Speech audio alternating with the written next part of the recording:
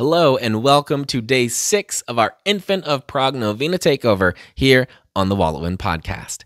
Very happy. Uh, it's a very happy occasion to have you join us for prayer as we bring ourselves before the Lord in this novena, this nine days of prayer, asking for help with our finances. Finances can touch so many parts of our lives. So many relationships can be affected by finances. And when they're in a junky spot, it really colors a lot of our life. And that's what we want to get rid of. That's why Wallet exists to help Catholics understand money and uh, and live God's plan for it, live according to the wisdom that He's give, given us, and to use it well uh, in the world. So part of that is this novena prayer. We want to help you and anyone else out there who needs some help with their finances. Why not go to the guy who owns it all?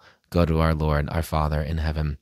And let's ask, using this centuries old time tested uh, form of prayer of this novena to the infant of Prague. So, without any further ado, here we go. We pray in the name of the Father, and the Son, and the Holy Spirit. Amen. Infant Jesus, it is with humility that I come before you in your infancy.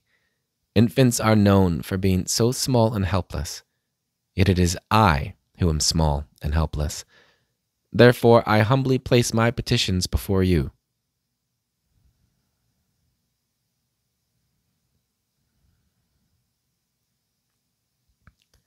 We bring before you this petition and all those held in the hearts of those praying this novena with us. Infant Jesus, King of heaven and earth, you gave Mary the great gift of being able to see God when she held her infant boy. Purify our hearts like Mary's, that we too may see God.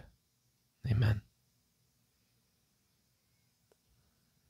Dear infant Jesus, I want to give you my hands today I want to serve you with all my heart and make you known and loved. Doing your will is the source of my inner peace and joy. Divine Infant, I give you my hands to touch those I meet with your love and peace. I ask you to heal those in pain, to encourage the hopeless, to console the sorrowing, and to provide for those in want. I ask you to reach out to the lonely I especially plead for the many people suffering from great poverty and injustice. Miraculous infant, I believe that you love me and know all my needs. I place them in your hands, especially my present concerns.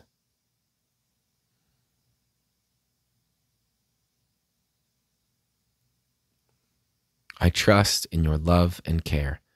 I want to honor and praise you now and forever. Amen.